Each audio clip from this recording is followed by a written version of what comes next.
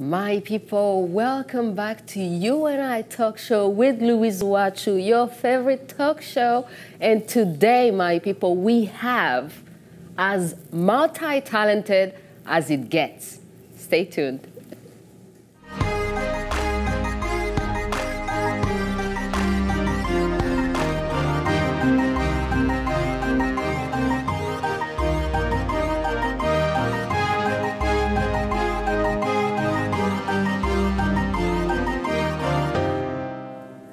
Welcome to the show, my people. I am so happy to be here. Nicole Oliver. Hi. How and are I you? I love your outfit. Thank you. I was just saying, I like your orange. I like this outfit. This is like va va voom, va voom, va voom. Uh huh. I feel a little underdressed. I do my best to sparkle and shine. I love shine. the bling, you know, it's Thank blinging, and you. you're blinging from the top to the Oh bottom. man, you know when it rains like it is, I got to bring some sparkle and sunshine in somehow. So, this is what we're doing today. Yes. Yeah. So you're so talented. Oh, thank you. You're an actress, you're a voice actor, you're a director, you're a producer, you're a motivational speaker. Yes. So this is the thing that I want to start off. Yeah. I always thought that voice actors, which I've also tried to do by the way, but I've always thought that voice actors are not that good looking. You're good looking. What's up with that? Well, you know, I went and saw a doctor before I came and saw you because I knew you were going to say that. Um, well, I do make my living in front of the camera when they let me. I've been uh, I've been a performer. That's been my only job for over 25 years. Okay. I have been an actor and actress actually because gosh darn it, Yeah. it's hard to be a woman. It's hard to be a woman in this business. You got to work at it, you know. Um, but yeah, I've been doing lots of it, and so. Well, thank you for the compliment. Is that why you've had to be so multi-talented? Because as a woman, you don't get that many chances, so you have to keep adding on many, many, many things that you could do. Yeah, I think so. But you know, I'm also, I'm also, I also get bored. Uh-huh. You know, I, I- they say I think we have about six careers in a lifetime. I remember reading that somewhere when I was uh, younger, and thinking, "Whoa, six careers." But you know, I've been kind of doing six careers simultaneously, I guess. but um, I like it. I like options. I like diversity. I like not being trapped. And I like the unexpected. So it's been a great choice and a path for me so far. So beautiful. So tell us what you're working on right now. Well, right now, Like the top three the things top that you're working on, things? because I know you're working on a couple of things. I just finished working on a TV show that I'm not allowed to talk about because if I talk about it, apparently lawyers will come down from the ceiling and I'll be like taken away. Uh-huh. But it may have superheroes in it. Anyway, Yeah. so I started working that. Uh, When is that coming out? uh, in the end of March 2016, you'll be able to see that. I uh, finished working on a feature film called Phil, The Tale of Flossing and Plumbing. Yes, I know, it's an exciting title. It's a long title. Directed by Greg Kinnear, who's an is incredible... it directing now? Yeah, he is. And he's also acting, starring in it. So it was really cool to work with an actor who was also the director. Because we'd be doing scenes together and he'd say something. I'm like, wait, why are you Oh, right, you're my director. that's right. That's why you're telling me that. Uh, and then cartoon wise, I'm really blessed. I have four shows on the go. I have the new Lego, part of the Lego franchise. I actually am, a, I have Lego characters. Yeah. I went into the Lego store and, and, and, and I bought my characters. I am the coolest person to my kids right now, so I'm going to kind of hold on to that moment. Wow. And And, yeah. the, the other thing that I saw, uh, Tom and Jerry, you know, Tom and Jerry was one of like my favorite Oh, was it? cartoons, you know. I did the voice You for about three years Tom for yeah for Mrs. Two Shoes. You ever all you ever saw was her cankles. Okay. You know she was she didn't have calves and ankles. They were cankles. They kind of blended. Uh-huh. She told Thomas, get me that mouse. Thomas, you gotta get Thomas, get me that mouse. And all you ever saw were her big, big, big legs and her shoes and And she was this lovely lady from the south. And Uh-huh. yeah, it was a fun show to be a part of. Wow. Yeah. So three years. Yeah, we did that for three years and then moved on and yeah, so lots of things. And in this business, job permanence is is is it doesn't happen. Forget about yeah, it. forget about Yeah. it. So and how is it um, being in Vancouver? Uh, is this is the right place for what you're doing, or have you ever felt like maybe you needed to go to another city? I've I've been in other cities. I was a gypsy. I did Toronto, Los Angeles, Vancouver, lived in Toronto, lived in LA. Uh, I met my husband here. Uh-huh. And I really realized quite quickly that I wanted more than just work. You know, my dad died when I was 25. And that was, which was just, you know, not that Yeah, long ago. yesterday, Yeah, yeah, yesterday. yeah. Well, it feels like it, but seriously, him, his passing for me at such a young age really made me contemplate what was important and what I wanted. Mm-hmm. And uh, my resume wasn't going to fit in a tombstone, so. you know. Yeah, it kind of makes you think, Yeah. okay, when I die, what do I want to leave behind and what do I want people to say that I have done? So, was your dad like an inspiring uh, figure? He was. He was. Um, he was head of a multinational computer company. He was started with IBM in the '60s, back when computers were on many floors of buildings. You know, you see that they're like huge and the reel to reel. And uh, he put computer banking into the UK. And um, he was a funny guy. He was a terrible golfer, and he could actually take his underwear off without taking off his pants first. An incredible feat, and I think maybe the reason why my I know how to take my so bra I off without take without you know. I don't know how you take off the. I I'm- know. Very I'm gonna have to guy. start thinking about Your it. Your brain will explode. I've tried to figure it out. but um, anyway, he helped me at a young age figure out was important, and I met my husband, and I've settled here, and I have two boys, raising a family here. Mm-hmm. So, yeah, In Vancouver, out of love. All right, so let's take a short break and come back and keep talking about that. fantastic. You and I talk show with Louise Uwacu. We love you, the authors, the musicians, the comedians, the entrepreneurs, and all other talented and inspiring people. Please contact info at uwacu.com to be a guest on the show.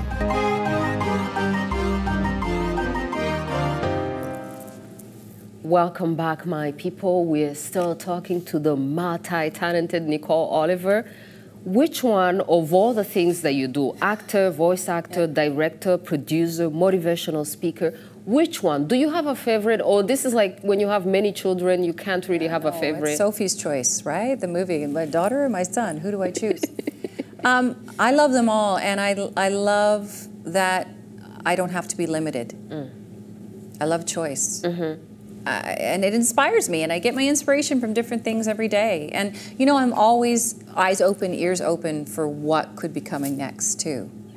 Um, something I got from my dad as well. Uh-huh. Yeah. And then what is this? Uh, you also founded Predator Communications. Sure. So my husband is an award-winning composer, and um, we met.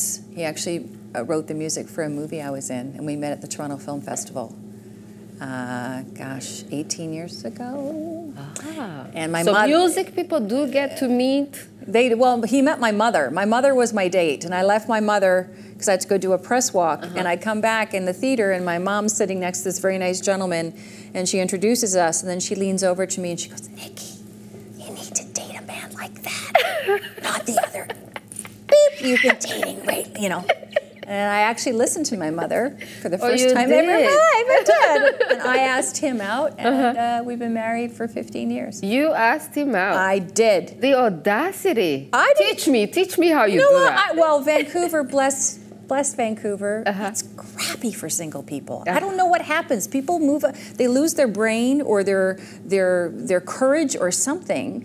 It- I was in Toronto. It's fine. People would talk to you. It doesn't mean you're going to get married. You can have some great conversations. You come out here and everyone's in this little bubble. Maybe it's the rain. I don't know. I don't know. People are reserved. They're very reserved. Yeah. And it's very difficult to make. I found to make connections out here. Uh-huh. You would expect this to be a hype city because it's by the ocean and everything, and you would expect it, right? You would think, yeah, but it's also very chill and a lot of um, old values. I think still, Mm. you know, we're not. We're a city. I think that's just starting to come into its infancy, really, Uh-huh. starting to grow and explode. And so it'll be cool to see where Vancouver goes. But when I first, it was it was a tough town. Yeah. tough town to connect. So you asked him out. I did. Like in which language? But The language of love. Can we go out? I dropped my clothes and went, ah, let's go. No, I just said, hey, it'd be uh, great to see you. Um, I, do you want to go for a coffee or a glass of wine? Mm-hmm. Or, and he said, sure. And we got together and uh, it was great. But he asked you for marriage, though. Or did you have did. to ask him? No, he asked me. Okay, okay, okay. And when he asked, he was he was driving him nuts. He was trying to figure out a way to do a really romantic proposal, but I was so busy. I was on a play at the same and working, and he'd go, "Let's go for a walk on the beach." And I'm like, "No, we never go for walks on the beach. I'm tired. I'm going to bed. Let's do this." I'm like, "What are you crazy? No, it's raining outside." So finally, a Sunday morning, he just rolled out of bed and put the ring on my pillow. And I was mute for six hours. I didn't say a word for six You hours. mute for six I know. hours. And my husband's like, if I had known that giving you jewelry, giving me jewel, giving me jewelry shuts me up. Are you watching, Chris? Yeah. So yeah. Wow, that is so fascinating. Oh my goodness. So, what are you working on together? This is how you founded the company? Yeah, so Pred- back to Predator Communications, I went back a few years and I, ago and I got my Master's of Communications from Royal Roads in Victoria because I had nothing else to do. I wanted to feel smart again, was what it was. I wanted to know that hard work meant an A mm. because as a performer and actor, you don't get that validation. You get rejected all the time. I mean, frankly, as a performer, just getting out of bed and showing up, that's an A, a gold star. But it doesn't mean you can pay your rent or anything, right? So we started this company, Predator Communications, and we've done uh, corporate video and for, for other companies, worked for the City of Vancouver, City of Ottawa, um, creating uh, multi-platform, you know, web videos or whatever they need. And it's really cool to work with my husband. We actually work together really well, Wow. really well. It's, Wow. it's, it's, I was a little, it was, In the same office. yeah, we work great together. So, you live in the same house. we live in the same house. and then you also go to work. Sometimes, yeah, we'll go work on projects together, and it's really fantastic. We have a great, great synergy uh-huh. and a great collaboration. And then we go home, and then I yell at him for leaving his socks on the floor. So it's perfect, really. And then you also have kids. Yeah. two Where did you find the time to do all the creative things that you do and then also have two boys? Well, I never thought I'd be a mom, and th- but I, I never thought I'd get married either. So kind of one came after the other, and um, I thought, okay, well, let's go. Start a little later in life. You know, really, I think kids take a lot of energy. They take a lot of energy. My kids are almost teenagers now, so that's a different type of energy, a mental energy, an emotional energy. You know, stay away from girls energy. um, I don't, you know, I just wanted to do it, and I did, and had two kids. They're 19 months apart, and uh, they're amazing, and they make my whole day better. They really Wow. Yeah. And so, how do they feel about what you do? Do they get to see you often, or are you often gone? Do you take with them if you're traveling? all of the above. And my kids are actually in the business too, believe it or not. So, um, wow. yeah, so you know, our lifestyle, our crazy circus lifestyle, as other friends of ours who aren't in the business call it, that's all they've known. Um, we're a tight unit. We support each other. We love each other. We love big. We love loud. And um, we, we have a good time. Nice. Yeah. So, what is the future? Where where would you like to go? I mean, what do you, where do you see yourself going? And Yeah. uh, ideally, where do you think you would? For me? Yeah. Uh, I want to head a studio. I think that'd be good. Um, I, I'd like to find, well, I want to direct uh, more. I, I have a couple of short film ideas that I'm really looking forward to, to doing. I'm actually thinking of doing it with my kids, doing it as a, uh, my husband would produce it, and so do a family kind of thing. Um, Are you writing? yeah, I'm writing. Wow. So you're going to be writing it and, then most probably producing starring it, directing it, and get the kids in it, get my husband to produce it, and do the post production on it. Yeah, and call in some favors from other, some other really talented people. So that's out there. Um, I've been doing motivational speaking, and I love mentoring and talking to people and sharing my story. I want to do more of that. And um, I love the business of this business. Nice. And um, uh, you know, I want to see more women in positions of decision making. And so I might as well start with me. And the motivational speaking thing, Mm-hmm. I mean, I can see that you're a naturally light type of person. Okay, good. I fooled you. Great. Great, I fooled you. I'm as dark as chocolate velvet cake, my friend. Uh, motivational speaking, well, you know, I, uh, I've always believed in mentoring. I got where I am because I had some people who would volunteer to step up and to mentor me and to share their experience and to listen to me when I was in positions of difficulty and offer me advice. And they wanted nothing for it. And so I think it's important to give back. I do believe in that philosophy.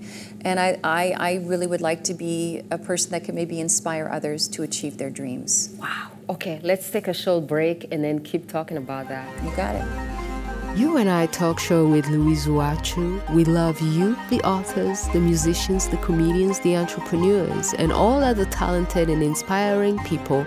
Please contact info at uwacu.com to be a guest on the show.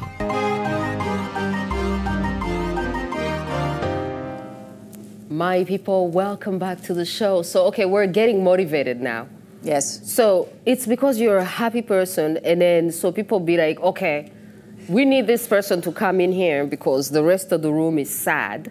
But you know, it's not so much that. I mean, I'm happy now, but my life's been interesting. I mean, in a nutshell, I, I mean, I've gone through, uh, I've had postpartum depression after both my children. I've suffered from anxiety my whole life. I'm a massive overachiever. I know you're shocked, right? um, uh, I am. And you're so funny too. Add that to that list that yeah, you're making. I'm funny. great. she says I'm funny, so it's true.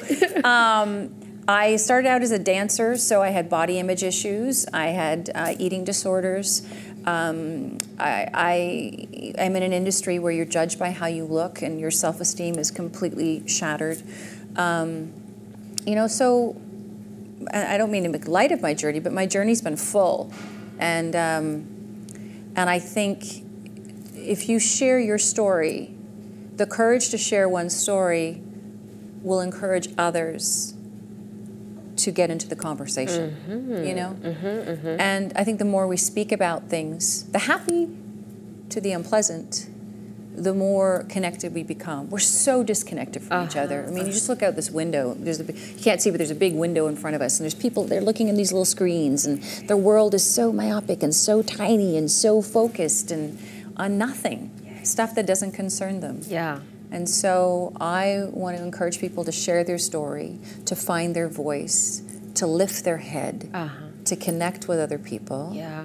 and say, I matter and so do you. Yeah. You know? It's very interesting. It's also very important because people see uh, somebody who has succeeded and they see the final product, but they don't know the process of uh. Yeah. getting there. So they may think that it's been rosy and cheesy and, and easy for you, but It's been cheesy, slightly pink at times, nowhere near easy, but yeah. Yeah. But so when you get to speak to people and then you tell them about your journey, and then does that uh, is that the point of motivation? Does that then motivate them to be like, okay, I, I hope so. I mean, I think if anyone has, you know, if they come out to listen to someone else, there's obviously something has been sparked, right? There's a desire, an impetus for something different than where they are.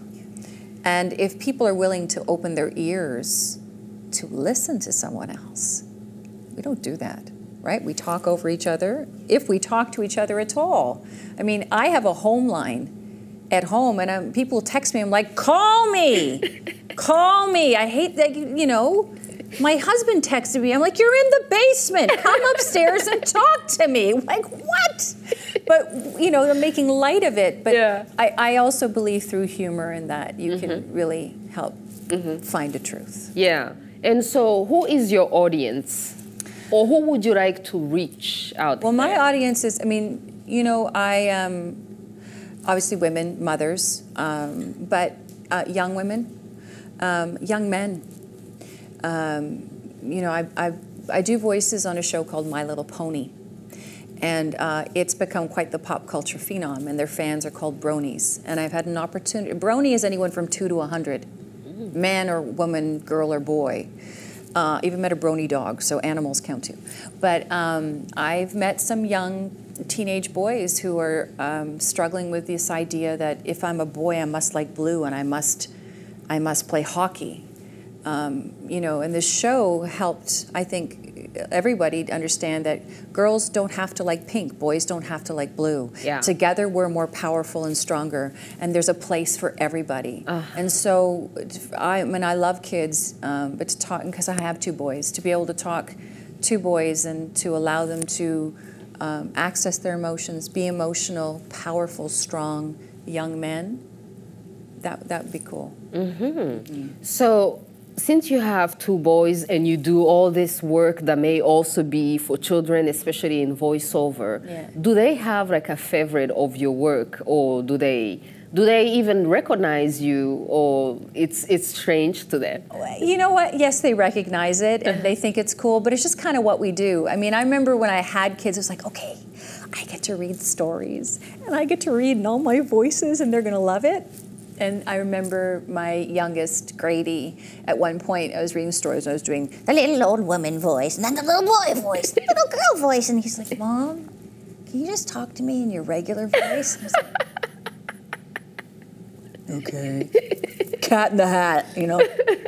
Um, but so they're, I mean, they've been raised in a house where there's music going on in the basement and we're going off to film sets or they're traveling, you know, so their life is, is what they consider normal, others may not. But to them, it's just whatevs. Yeah. Whatevs. Do they Like have that. like a, a favorite, like this one that's so famous with the rest of the people? Do they also uh, like it? And then do they tell their friends, "Oh, that's my mom," or they're not? Yeah, no, they they talk. They talk. That's my mom. I think now that I'm I'm doing a Lego show called Nexo Knights. It's just started in the states. I'm allowed to say that. Okay. Um, Let's drop it no. So, Okay. um, and because I now have Lego figures, Uh-huh. I'm pretty cool. Like with my, I'm I'm getting some cred with the friends because Mm. they go to the Lego store and they're- they'll see. there's the character, you know, yeah, great. So that's kind of cool. So I'm going to try and ride that as long as I can. Uh-huh.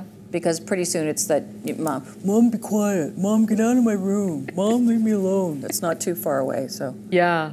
And I also wanted to ask you about um, how is it working with somebody as talented as uh, David Foster, the music. Um, Oh, my husband worked with him. Um, he wrote the music for Heart of a Dragon. Yeah, you Chris. worked on Heart of a Dragon. Yeah, and I did some. And vo- then- I did a voice on that. Yeah. Um, you know, they're just people. Mm-hmm. They're. I mean, I've I have been haven't really sort of starstruck, sort of starstruck once. Um, I met George Clooney. I didn't work with him, but I met him. I was pretty quiet. Okay. I was pretty blown away. where was that courage of asking people out when you met? went them? right out the window. it was just gone. Um, yeah, so, but you know, they're just people. That's really cool. What is disappointing though is when if you've been watching somebody your whole career or your whole life as an, and you meet them and they're not kind. That's kind of shattering. And that, that's happened. Okay, let's uh, let's end on that. Let's land on that downer. Short break. With Louise Uwacu, we love you, the authors, the musicians, the comedians, the entrepreneurs, and all other talented and inspiring people. Please contact info at uwacu.com to be a guest on the show.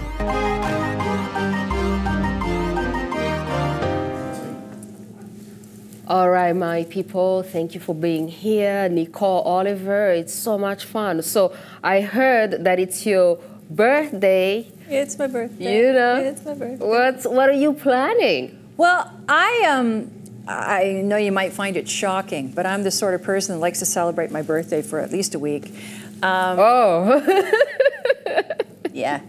Uh, well, I'm going to go out uh, this evening with a very dear friend of mine, and uh, there's another party. My agent, uh, it's his birthday. It was yesterday, and we have celebrated our birthdays together. you want to drop his name? for 20 years. Yes, Murray Gibson. I love him dearly. Okay. He's with Red Management, and I've been with him for 20 years. Ooh. I started when I was two. Wow. And you look so young, though. I mean, this is why you shouldn't say your age, actually, because you look so young. You look so fresh. Well, it's like if you um, if you say your age, you you may kill the illusion, or people are gonna I think think that the they illusion was killed a long time ago, Louise, but all right. I'm 30. There, it's out. It's out. I'm 30 years old. Whew, I feel of good. fact, you should give people advice on how to stay young. Is there something in particular that you have actually done, or is this like some sort of natural thing? I've lifted my whole face up six inches now. Uh, laughter, obviously. so I'm gonna keep laughing. love a lot, and um, um, moisturize, moisturize, moisturize. Water. Especially winter, right? Well, I think it's because I live in Vancouver now with all the rain. I look at it that the dewy moisture is going into my skin and keeping me fresh. And Who needs a spa when you No, I in- you do. You need a spa Okay, when okay, you live here. But anyway, we'll go with that for now. Yeah. Uh-huh. Laughter. There's my. Laughter. Yeah. Okay, so you're saying what we're doing right here. is we're so young right now. Like we're within seconds of going into diapers. I'm telling you, we've regressed. Have we regressed? No, we're still mentally smart and challenged. Uh-huh, Yeah. Yeah. uh-huh. yeah. All right. Yeah. So where can people find you right now? Well, I, well, I'm here with you, but on, on the on the on the internets, you mean? On the internets where the kids go, uh, you can check me out on my website www.nicoleoliver.com. I'm on the Twitter with the little birdie, birdie, and I'm at Mouth Noise, M O U T H, like the body part, N O I Z Z for American friends, E, Mouth Noise, because I make a lot of noise Oh, with my mouth on Twitter Uh-huh. at Mouth Noise, and uh, so that's how you can find me electronically. And uh, if you see me walking down the street, say hey. nice. Is there anybody, we still have like one minute to Yeah. go. Is there anybody out there that you love, that you would love to work with? Oh yeah, You know. Maggie Smith. Boom. Oh, okay. Boom. Yeah. Is she, she, she's still alive, right? Yes, she is. Okay. Um, she's. I did uh, my The first British play. actress. I, Yes. I, I like her work. Yes, my Yeah. I love her. My first play I'm I surprised that you say to her.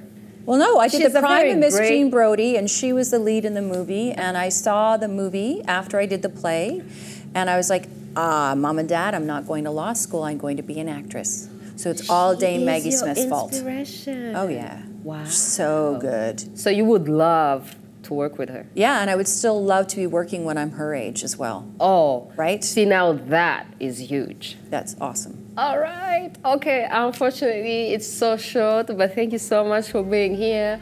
Maggie Smith, if you're listening, you know, call Nicole. Call me. Tweet me. Tweet me, Maggie. Tweet me. Thank you, my people. Thank you, Louise. That was so great. Thanks, love. So good.